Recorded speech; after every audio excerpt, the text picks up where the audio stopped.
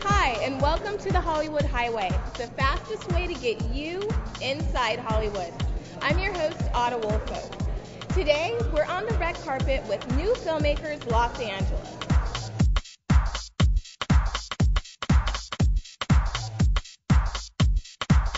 New Filmmakers LA is a nonprofit organization. We're a film organization, so we do many different things, many different programs, many different services for independent filmmakers. Um, our number one program is tonight's event, our monthly screening series. So we're screening short films, documentary films, feature films, animated films, experimental films from all over the world. So tonight we have films from Israel, we have films from the US, of course, films from Canada, uh, films from the UK, and every month we're doing this here at Sunset Gower Studios. We have had New Filmmakers Los Angeles for four years now. Uh, so we started at the A plus D Museum on Wilshire Boulevard. We moved to Sunset Gower uh, on our second year, and we've been here now for almost three years. Um, and it's been going really amazing. There's been a New Filmmakers New York for over 13 years. Um, so we were really happy to start the LA branch of things, and we have a great board of directors, a really great team, awesome filmmakers, an awesome crowd, and we couldn't really be happier with the way things are going. And hopefully, within the next couple months and the next couple years, we'll expand even bigger and bigger. That's the other reason I'm excited to come to things like this, because these people have done something like that. You know, they've put together this monstrous amount of crew and talent and time and locations and all that, and they have something to show for it, and that's brilliant. Well, Keith Harrison is a friend of mine, and he directed this uh, project uh, Sea Glass, uh, I think it's called.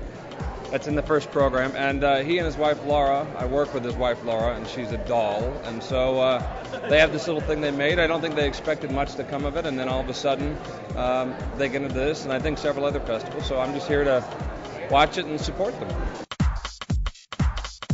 The, the short is really to represent um, the feature screenplay and uh, that's really what I mean. We wrote a, we wrote a feature first, and then we pitched that, and then you know our, our producer loved it and said, "Why don't you make a short? Kind of prove yourself. I want to see what you guys can do." So we hope this film is a calling card to really make that film. We'd love to make it this year. So uh, you know, it's, it's, a great it's great to be here, and I'll be really great to see it in front of in front of a new fresh crowd. Yeah. I was in Dot Got Shot. It was uh, produced by Honey Lauren, directed by Honey Lauren and Carlos Ramos Jr. Carlos Ramos Jr. was named by one of the big filmmaker magazines as, as a rising star. He's brilliant, incredibly fun to work with, incredibly good with actors. Considering this was my first short film, it was a good experience for me. When we first started, we realized that people weren't going to throw work in our lap, so we decided to create our own. We like to wear different hats, I guess. And wear, and that's what we did. We wore every hat, and then now we're just finally getting to the point where man, what could we do if we had a budget?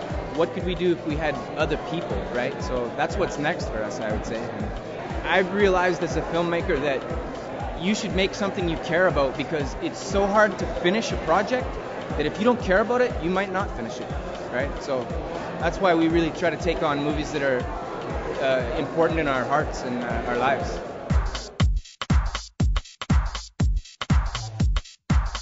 We love seeing films. Everybody here loves seeing films. So um, if you have a film, you should submit your film. And uh, if you know a filmmaker who has a film, you should encourage them to submit their film.